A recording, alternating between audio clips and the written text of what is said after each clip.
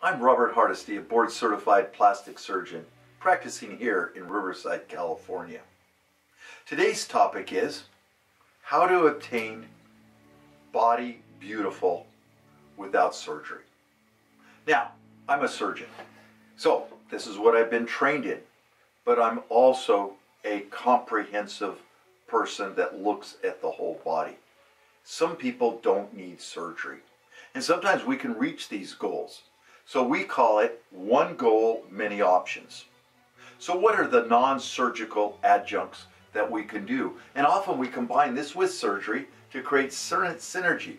One plus one is not two, but one plus one is four or five. So let's talk about some of these non-surgical options that we have. Number one, weight loss, body contour. We have a device called UltraShape Power. It has the long track record in Europe and now here in the United States. It invisibly sends ultrasonic waves through the skin to these diet resistant areas. And what happens then is it disrupts the fat cells. The fat cells then are taken away by the body's natural mechanisms. There's no downtime and there's no pain. Now, there's select instances where this really works well, and then sometimes we have to do liposuction. That's where the personal evaluation comes on. Number two, VelaShape. Let's say after pregnancy or after weight loss, your skin's a little loose, or you have some cellulite. VelaShape 3 is the latest technology in the long line of VelaShape. So it's a radio frequency that invisibly goes through the skin, no downtime, no pain, and shrinks the loose skin. What about unwanted hair? We have the GentleLase Pro. This is a device that goes in and removes hair where we don't want it.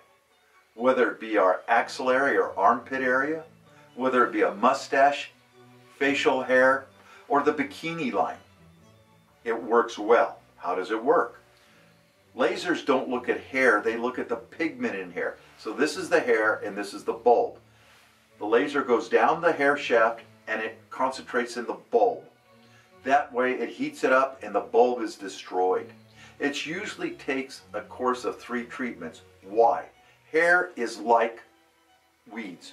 You might have the weed seed, you might have the weed under the surface, and you see the weed coming through. So, the laser only sees the weed that's coming through or the hair. Therefore, it takes about three to four weeks before between treatments. Thermi. What is Thermi? Thermi is injectable radio frequency. We do this in the neck very often.